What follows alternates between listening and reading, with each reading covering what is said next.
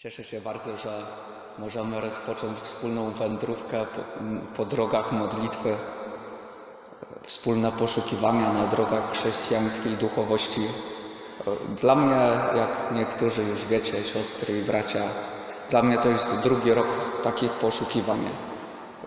Nie drugi rok poszukiwań w ogóle, no bo te poszukiwania to całe życie trwają, drugi rok poszukiwań w takim charakterze przez konferencję. A dziś, tak jak to często bywa na początku, będzie takie wprowadzenie. Trochę będzie o tym, co za mną, co za nami. Mówię za nami, bo myślę też o osobach, które słuchają w internecie, które słuchały poprzednich konferencji w zeszłym roku. Będzie też trochę o tym, co przed nami, o tym, co będę mówił w tym roku. No, trochę też wezwań, zachęt, propozycji dla każdego. W tych konferencjach często będę mówił w liczbie mnogiej, w pierwszej osobie liczby mnogiej, czyli nie wy, ale my, nie was, ale nas, nie wasze, ale nasze i tak dalej. To chciałbym zaznaczyć na początku jako pewną zasadę, która jakoś porządkuje wzajemne relacje, tak chyba mogę to nazwać, że to mówienie w pierwszej osobie liczby mnogiej to nie będzie jakiś tam tylko konwenans, jakiś zabieg grzecznościowy, estetyczny, no, wynikający jedynie z tego, że w ustach kaznodziei słowo my brzmi ładniej niż słowo wy.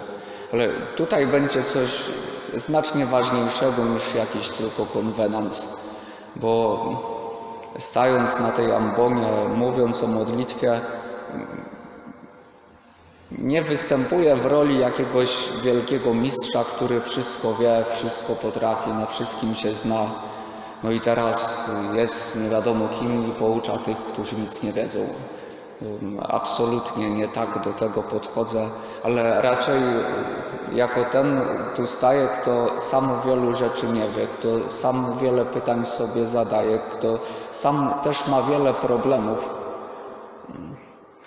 ale w tym wszystkim chce też postępować całe życie na drodze do Pana Boga, pragnie poszukiwać, pragnie się rozwijać. Myślę, że Wy też wszyscy pragniecie, inaczej chyba by Was tu nie było. Podobnie jak przed rokiem, tak i teraz chciałbym zacytować piękny fragment ze wstępu do przepięknego dzieła świętego Franciszka Salezego. Tytuł tego dzieła to jest Filotea, czyli Droga do życia pobożnego. Moje osobiste zdanie jest takie, że jakby jakiś chrześcijanin miał tylko jedną książkę religijną w życiu przeczytać, no nie licząc Pisma Świętego, no to ja bym mu powiedział, przeczytaj Filotea. Jak to przeczyta, jak to przemyśli, przyswoi, wdroży, no to już po tej jednej książce będzie bardzo rozpędzony na drodze do świętości. W przedmowie do tego dzieła święty Franciszek Salezy tak pisze. Piszę co prawda, miły czytelniku, o życiu pobożnym, choć sam pobożnym nie jestem, ale przynajmniej pobożnym być chcę. I właśnie ta chęć dodaje mi siły, bym Ciebie nauczał, bo jak to trafnie powiedział pewien uczony, dobrym sposobem nauczenia się jest uczyć się, lepszym słuchać, najlepszym nauczać. Coś podobnego ja mogę o sobie powiedzieć. Tym bardziej więc dla mnie samego to jest coś ważnego, te konferencje, to, że będziemy się tutaj spotykać, bo dla mnie samego one są okazją do tego, żeby wiele rzeczy doczytać, wiele rzeczy sobie w głowie poukładać, na nowo przemyśleć, z wieloma pytaniami się zmierzyć. Pamiętam jak kiedyś w seminarium, nie wiem już czy to było na rekolekcjach, czy na wykładzie jakimś, znany krakowski teolog, bardzo wybitny umysł, ksiądz profesor Robert Woźniak, podzielił się z nami taką myślą, która jest we mnie po dziś dzień. Mówił mniej więcej tak. Jedną z najważniejszych rzeczy, jakie możecie zrobić jako duszpasterze, będzie to, abyście nauczyli ludzi modlitwy. Tak, abyście wy sami jako kapłani stawali się coraz mniej potrzebni. Oczywiście będziecie dalej potrzebni do sprawowania sakramentów, ale chodzi o to, aby w życiu tego człowieka, który naprawdę potrafi się modlić, Pan Bóg coraz bardziej przejmował stery, coraz bardziej bezpośrednio działał w jego życiu, był jego przewodnikiem, aby kierował jego życiem we współpracy z jego wolnością. Z wieloma pięknymi wezwaniami, zarówno tymi, które dotyczą spraw wiary, jak i wielu innych spraw. Może być tak, że one zostają w naszej pamięci, ale tylko jako jakaś piękna idea. Taka myśl, którą fajnie sobie czasem przypomnieć albo zacytować w towarzystwie. Albo mogą być takie piękne wyzwania, które zostają w naszych głowach jako takie postanowienia, że kiedyś to się tym zajmę, kiedyś to zacznę tym żyć, kiedyś to się na tym skupię. No tylko to kiedyś to może być zawsze kiedyś, tak całe życie, kiedyś, potem i tak w kółko. Ileż to ja mam takich myśli, ile to ja mam takich postanowień, z którymi coś takiego właśnie w życiu zrobiłem. Z bólem to mówię. A tym bardziej cieszę się, że ta idea nauczania modlitwy nie spotkała się z mojej strony z, z taką samą postawą. Zatrzymajmy się przy tym jeszcze trochę. Bo jaka to jest piękna myśl, jaka to jest piękna idea, ta, że jako chrześcijanin, nie tyle jako kapłan, ale właśnie jako chrześcijanin, Chcę, aby naprawdę Pan Jezus był moim pasterzem, żeby naprawdę był moim nauczycielem, żeby naprawdę był moim przewodnikiem. Aby to nie były tylko jakieś takie piękne hasła, jakieś takie katolickie slogany, że ładnie jest to powiedzieć, ale żyć to tym się nie da. Ale żeby to była prawda mojego życia. I nawet jeżeli dzisiaj przez moją głupotę, przez moją zatwardziałość realizuje się to w ograniczonym zakresie, to chcę, aby to się realizowało coraz pełniej. Jezus Chrystus, mój pasterz, mój przewodnik, mój nauczyciel. Ci, których mi posyła, oni także są moimi nauczycielami, przewodnikami, pasterzami. Nie odrzucam ich. Przecież sam Chrystus powiedział: Kto was słucha, mnie słucha, kto wami gardzi, mną gardzi. Nie odrzucam ich. Przeciwnie, Chcę od nich czerpać obficie, bo ufam, że oni też czerpią od Chrystusa. Ale nade wszystko chcę od mojego Pana czerpać zupełnie bezpośrednio. Przez modlitwę, przez sakramenty, przez wsłuchiwanie się w głos sumienia. Warto sobie zadać pytanie, to czy nie pragnę takiego właśnie życia? Czy nie pociąga mnie właśnie taka perspektywa chrześcijaństwa prawdziwego, życia w pełni, w najgłębszym sensie tego słowa. To jest coś pięknego, to jest coś fascynującego. A kolejna dobra wiadomość jest taka, że to piękno, ta fascynacja, to się nigdy nie wyczerpuje, bo zawsze jestem zaproszony do czegoś więcej w tej relacji, bo nigdy nie znam Boga tak, żebym nie mógł poznać Go lepiej. I choćby nie wiem, jak mnie zachwycał, choćbym nie wiem, jak mnie fascynował, to zawsze mogę w tym zachwycie, w tej fascynacji postąpić. A gdy mówię o zachwycie, o fascynacji, to nie chodzi mi o jakieś tam emocje, ale chodzi mi o ten zachwyt, który nazywamy miłością, o tę fascynację, którą też tym słowem nazywamy.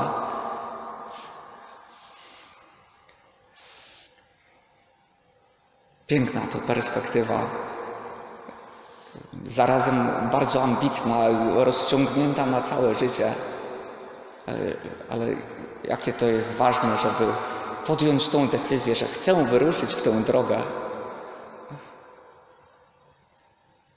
Skoro to jest takie ważne, żeby uczyć się modlitwy, to na pewno warto postawić sobie pytanie, warto abyśmy my wszyscy sobie to pytanie stawiali, w jaki sposób jako chrześcijanie pomagamy sobie nawzajem, abyśmy wspólnie na tych drogach dojrzałej, głębokiej, prawdziwej modlitwy postępowali. O ile bowiem w oczywisty sposób e, rola tych, którzy tak jak ja mają udział w kapłaństwie Chrystusa przez święcenia, szczególny udział w tym kapłaństwie. Rola tych osób, kapłanów jest szczególna. No to zarazem nie wolno nam zapomnieć, pominąć, zbagatelizować kapłaństwa powszechnego, w którym udział ma każdy z nas przez sakrament Chrztu Świętego. Każdy z nas jest wszczepiony w Chrystusa od chrztu i oprócz tego, że jesteśmy przez chrzest tak przeobrażeni wewnętrznie, że możemy nazywać się dziećmi Bożymi, to każdy z nas jest zarazem wezwany, żeby był sługą Chrystusa, sługą zbawienia. Każdy na swojej drodze, każdy w swoim powołaniu. To więc, abyśmy nawzajem dopomagali sobie, abyśmy tę najważniejszą ze wszystkich relacji, relację z Panem Bogiem, żeby każdy z nas przeżywał ją coraz pełniej, coraz piękniej, coraz doskonalej, żebyśmy pomagali sobie na tej drodze. To się jakoś nasuwa, że to jest ważne. Aby, bo jeżeli wiem, że modlitwa jest czymś ogromnie ważnym, to nie może być mi zupełnie obojętne to, czy mój brat się modli, czy się w ogóle nie modli, a może modli się zupełnie źle lub zupełnie płytko. To nie jest oczywiście łatwa sprawa, by rozmawiać o modlitwie, o życiu wiary, o relacji z Bogiem. Z co najmniej dwóch powodów to nie jest łatwe. Po pierwsze, modlitwa to jest coś bardzo intymnego. No chyba, że ktoś przeżywa ją zupełnie płytko, trata, tata, tata, koniec. No to pewnie łatwo mu powiedzieć o swojej modlitwie. Ale ten, kto przeżywa ją w sposób autentyczny, to ma to wyczucie, że to nie jest coś takiego, o czym mogę mówić z łatwością, bo jak jest coś bardzo osobistego w moim życiu, to nie każdemu o tym mówię. Nie jestem bardzo skory do tego, żeby opowiadać wszystkim nie wiadomo jakie szczegóły.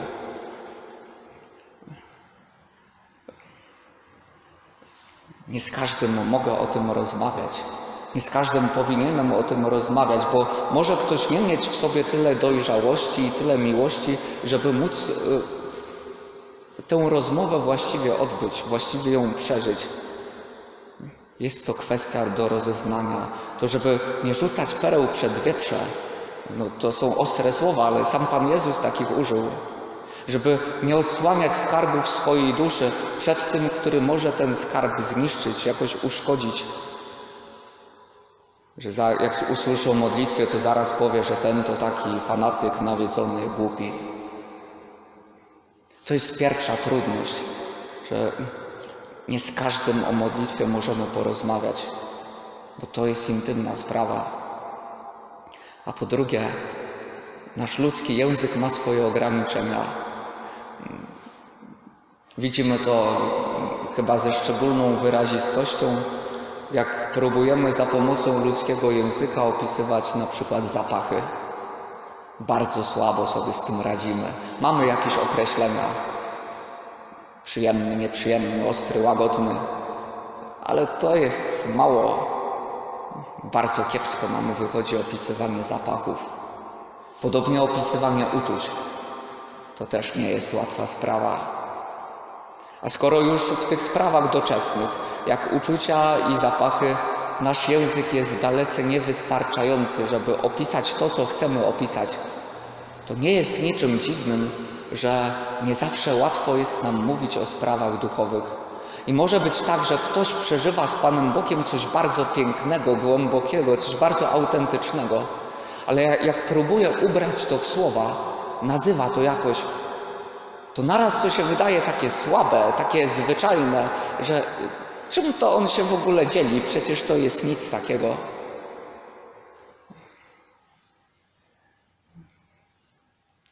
Trudno jest więc mówić o modlitwie. No ale to, że jest trudno, to nie znaczy, że mamy z tego zupełnie rezygnować.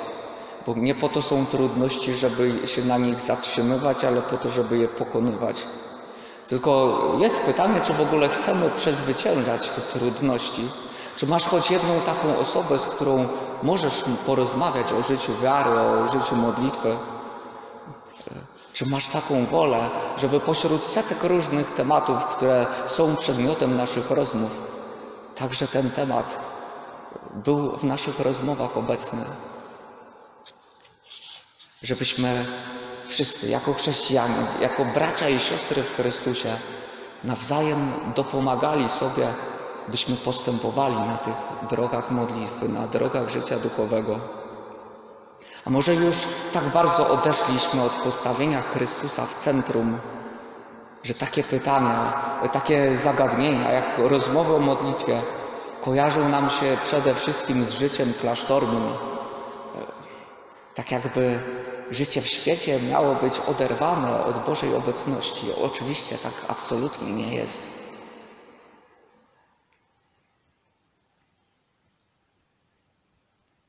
Kilka słów o tym, co mówiłem w ubiegłym roku. E, wszystkie konferencje są dostępne w internecie, na moim kanale na YouTubie. Ma bardzo niezaskakującą nazwę, nieoryginalną, po prostu ksiądz Piotr Piekart. To teraz to będzie taka reklama.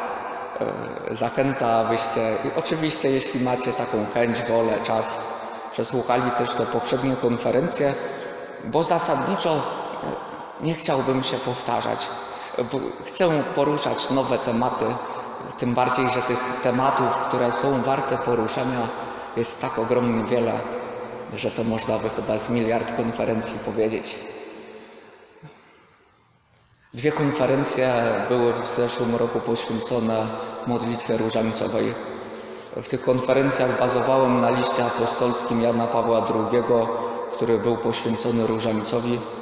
I muszę powiedzieć, że ten list mnie bardzo zaskoczył. Może się tak wydawać, że różaniec, no wiadomo o co chodzi. Co tu można w ogóle powiedzieć zaskakującego? Jakieś może powtórzyć banały, czy kilka rzeczy, które i tak wiemy.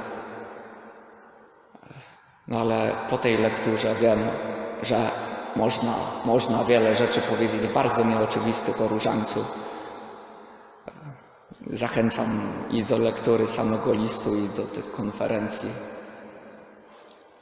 Trzy konferencje były poświęcone modlitwie za zmarłych. Mnie to samego za, zaskoczyło, że aż tyle. Chyba początkowo zamierzałem jedną wygłosić. Tam między innymi wyjaśniam to, skąd w ogóle w Kościele jest nauka o czyśćcu. Czasami można usłyszeć takie tezy, że ten czyściec to sobie Kościół wymyślił. Ale jak wiemy, gdzie są w Piśmie Świętym te miejsca, na których Kościół ufundował tę naukę o czyśćcu i że to nie jest jakieś takie naginanie jakichś tam byle śladów, że tam coś nadinterpretuje i wymyślę sobie, że jest czyściec, ale że te podstawy biblijne są naprawdę mocne, no to dużo daje nam to dla naszego własnego przeżywania wiary. Dodatkowo utwierdza nas w tym, że nasza wiara to nie są jakieś tam wymysły kogoś, tylko że to jest wiara, którą, to są prawdy wiary, które nam sam Pan Bóg objawił. Mówię tam też o tym, jak czyście to rozumieć. Zwykle myślimy o tym, że w czystu jest cierpienie i to oczywiście prawda, ale to nie jest wcale takie proste, bo to jest jedna strona medalu. To takie miejsce paradoksalne, czy stan paradoksalny wielkiego szczęścia, a zarazem wielkiego cierpienia. Mogą nam jakieś obrazy z życia doczesnego dopomóc, aby to zrozumieć. Jak na przykład ktoś gigantycznym wysiłkiem, kosztem wielkiego cierpienia osiągnie jakiś wielki cel. Na przykład ktoś pierwszy raz w życiu ukończy maraton. Wielkie cierpienie współistnieje w jednym momencie z wielką radością, że to zrobił. Jest to jakiś blady, niedoskonały, ale obraz tego, co jest w czystu. Wielkie cierpienie, a zarazem wielkie szczęście, bo każdy, kto tam jest, jest już pewien swojego zbawienia. W kolejnej konferencji przedstawiam różne formy duchowej pomocy, jaką możemy ofiarować zmarłym. To jest kolejna rzecz, która jest wcale nieoczywista, bo co, co znamy? No oczywiście zamówienie mszy świętej, to jest coś bardzo ważnego, no i nasza prywatna modlitwa, to też coś bardzo ważnego. Ale warto wiedzieć, że jak za, zajrzymy do katechizmu Kościoła katolickiego, to katechizm mówi na przykład o jałmużnie ofiarowanej w intencji zmarłych. To je, samo to, jak słyszymy, to się wydaje takie dziwne. Jałmużna za zmarłych, jak to? No ale chodzi o to, że różne uczynki mogą mieć duchową wartość. No, pod pewnymi warunkami, jaki to uczynek, jakie mamy usposobienie, stan duszy. Ale są duchowe, jest duchowa wartość różnych uczynków, także jałmużny. O co z tym chodzi, też tam to wyjaśniam. Jest w końcu konferencja trzecia o modlitwie za zmarłych, która jest w całości poświęcona tematowi odpustów, zarówno od strony historycznej, jak i teologicznej i praktycznej. To też jest bardzo ważny temat. To coś takiego, że jak się to zgłębi, to naprawdę ma bardzo duży wpływ na, na życie wiary, na codzienność. No bo co odpusty codziennie możemy zdobywać. Dwie konferencje były poświęcone Eucharystii. I tu powiem jedynie tyle, że dla mnie samego niektóre rzeczy, których się dowiedziałem w trakcie ich przygotowywania, są ważne po dziś dzień. W trakcie każdej, naprawdę każdej Eucharystii, którą sprawuję. Trzy konferencje były poświęcone kultowi Bożego Miłosierdzia. I to też jest bardzo mi bliska działka duchowości i tym bardziej ubolewam, że tak jak zresztą wiele innych pięknych przestrzeni życia duchowego, tak i ta jest w Kościele w Polsce, któremu ten kult Bożego Miłosierdzia ze względu na siostrę Faustynę, łagiewniki, on jest nam szczególnie zadany, szczególnie powierzony. Niestety także u nas w Kościele w Polsce bardzo dużo jest niezrozumienia, zarówno od strony teoretycznej, o co tam właściwie chodzi, Dużo jest niewiedzy, jak i błędów praktycznych. Dotyczy to w szczególności praktyki godziny miłosierdzia. Wielu, nawet księży, uważa, że godzina miłosierdzia to chodzi o to, żeby o 15 odmówić koronkę. Zupełnie nie o to chodzi. Wyjaśniam o co chodzi w jednej z konferencji. Wydaje się, że zupełnie nieobecne jest też wezwanie Pana Jezusa do szerzenia kultu Bożego Miłosierdzia, a to jest osobna praktyka, do której osobne łaski są przywiązane. Mało też kto rozumie sens samych słów koronki, które tak często powtarzamy. Ojcze Przedwieczny, ofiaruję Ci ciało i krew, duszę i bóstwo najmniejszego Syna Twojego, a Pana naszego Jezusa Chrystusa Jaki sens ma ta formuła? Ofiaruję Ci ciało i krew, duszę i bóstwo. O co tu w ogóle chodzi? To też tam wyjaśniam. To wcale to nie jest oczywiste pytanie. Tutaj były jakieś teologiczne kontrowersje. W całym tym kulcie Bożego Miłosierdzia jest też wezwanie do zaufania Panu Bogu i do czynienia dzieł miłosierdzia. I to są wezwania, które są tak bardzo ważne, że kto je lekceważy, ten po prostu tego kultu nie praktykuje. Co to znaczy? Że jeżeli Panu Bogu nie ufam, jeżeli nie czynię miłosierdzia, no to choćbym miliard koronek odmówił i sto obrazów Jezusa miłosiernego porozwieszał, to nic to nie da. Żadnej łaski u Boga nie wyproszę. To ma kluczowe, kluczowe znaczenie, to, to wezwanie do ufności i do czynienia miłosierdzia, a też chyba jest to mało obecne. Jest wśród tych 20 minionych konferencji też konferencja o modlitwie kontemplacyjnej, karmelitańskiej. To jest taka perła życia duchowego, dla której, tak jak w przypowieści o perle, warto naprawdę wiele poświęcić. Jest konferencja o przygotowaniu modlitwy, a więc o czymś, co jest ważne, bo jak coś jest ważne, to też ważne jest, aby się do tego przygotować. No a łatwo może nam to zupełnie umknąć. Jest konferencja o Triduum Paschalnym, a więc o tym, co jest ogromnie ważne, najważniejsze, najważniejsza liturgia rozciągnięta na trzy dni najważniejsza liturgia w ciągu roku y, kościelnego. No a niestety w Polsce, i tu zwłaszcza mówię o Wigilii Paschalnej, jest kompletnie nierozumiana, kompletnie błędnie przeżywana. Jest jeszcze siedem innych konferencji, do których też Was zapraszam do wysłuchania ich. A kto już wysłuchał tych konferencji y, i teraz słucha przez internet, tego zachęcam, żeby postawił sobie pytanie o to, jakie konkretnie owoce w Twoim życiu to słuchanie przynosi, co konkretnie ewoluowało w Twoim myśleniu, co, co się zmieniło, jak, jak się rozwinęło Twoje życie modlitwy przez ten miniony rok. Które postanowienia przekułeś w czyn, które dalej czekają na przekucie w czyn, które pozostają jakąś tam ideą, że kiedyś to się tym zajmę. To jest coś ogromnie ważnego i w ogóle nie tylko w kontekście konferencji, ale w ogóle naszych poszukiwań, y, naszego słuchania kazań, własnych rozmyślań. Y, to czy jedynie słuchamy, rozważamy, rozmyślamy i stajemy się przez to coraz bardziej biegłymi teoretykami świętości, czy też podejmujemy konkretne decyzje, które są na drodze do świętości realnymi krokami naprzód. Każdy z nas może zadać sobie to pytanie, choćby w odniesieniu do Słowa Bożego, które jest głoszone, a potem wyjaśniane w liturgii.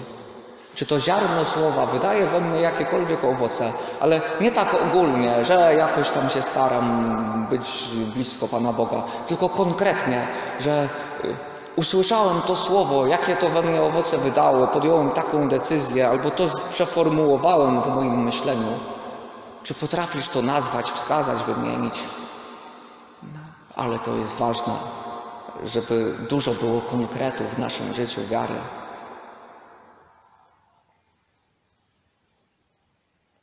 Jeszcze na koniec kilka słów o tym, o czym będę mówił w ciągu tych kolejnych miesięcy. No, do końca nie jestem w stanie tego dzisiaj określić, tym bardziej, że mam to doświadczenie, że po pierwsze e, tematów, o których chciałbym opowiedzieć jest dużo więcej niż ja mam czasu, żeby to wszystko przemyśleć i przygotować. A po drugie, czasem tak jest, że temat, który wydawało mi się, że jest krótki i wystarczy jedna konferencja, to tych konferencji tak naprawdę potrzeba dużo więcej. Mogą się też pojawiać jakieś nowe plany, pomysły. No ale niektóre rzeczy chciałbym wymienić, licząc też trochę na to, że jak to zapowiem publicznie, no to dla mnie samego będzie to przynaglenie do tego, żeby te plany zrealizować. Więc chciałbym na pewno powiedzieć więcej o tym, co jest centrum naszego życia modlitwy, czyli o Najświętszej Eucharystii. Chciałbym powiedzieć jeszcze co najmniej jedną konferencję o różańcu, bo te dwie, które powiedziałem na temat listu apostolskiego Jana Pawła II, który był różańcowi poświęcony, te dwie konferencje nie wyczerpały treści tego listu. Chciałbym powiedzieć o roli ciszy. To myślę, żeby o tym było w Adwencie. Chciałbym też pochylić się nad tekstami modlitw Ojcze Nasz i Zdrowaś Mario.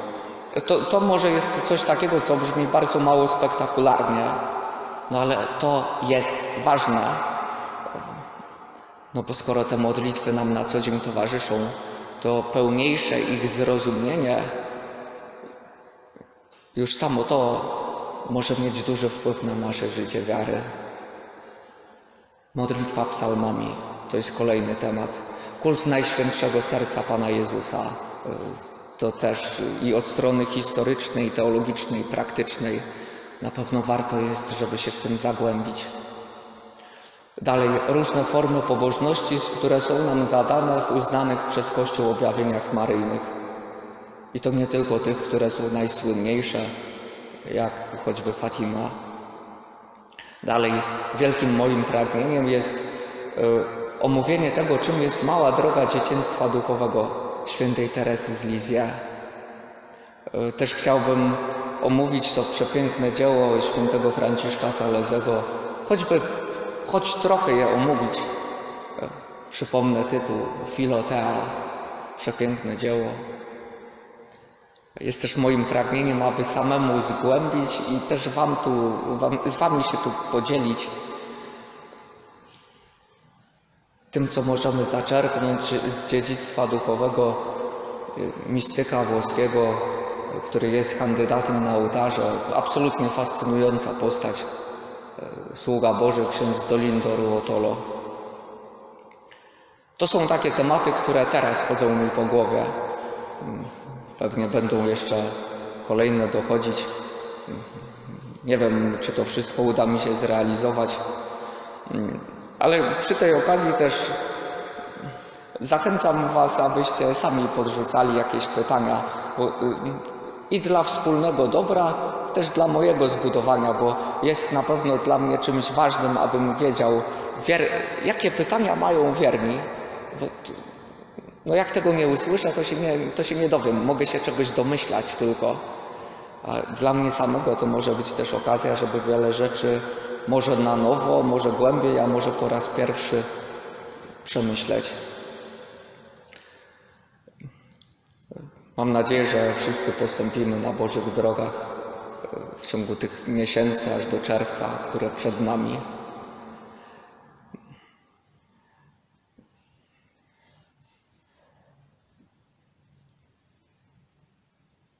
Zarazem i to będzie ostatnia rzecz, którą chciałbym dzisiaj powiedzieć. Ważne, aby każdy z nas miał poczucie osobistej odpowiedzialności. Zarówno jeśli chodzi o życie modlitwy, życie moralne, każdą przestrzeń życia chrześcijańskiego. To mówię też o sobie samym, że nie chcę przerzucać wszystkiego na innych, na spowiednika, na kaznodzieję, na kogoś tam jeszcze. Chcę korzystać, chcę czerpać z różnych źródeł, ale przede wszystkim każdy z nas, ja sam, jestem odpowiedzialny na, za moje życie z Bogiem. Chcę szukać, chcę zadawać pytania, e, czerpać od tego, od innego, pytać na spowiedzi, w indywidualnym kontakcie, szukać po książkach, po konferencjach, do których teraz jest tak bardzo łatwy dostęp.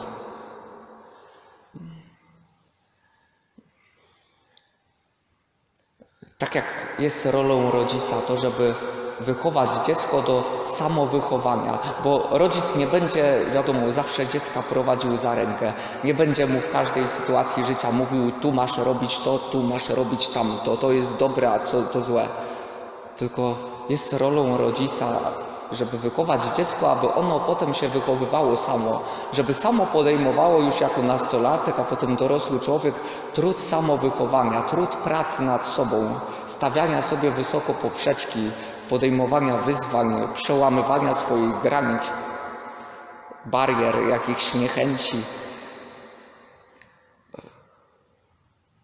No, tak też każdy z nas w życiu wiary pewien trud, tak to nazwijmy, samowychowania, sam, samodzielnej formacji, oczywiście też z pomocą innych osób, musi podejmować.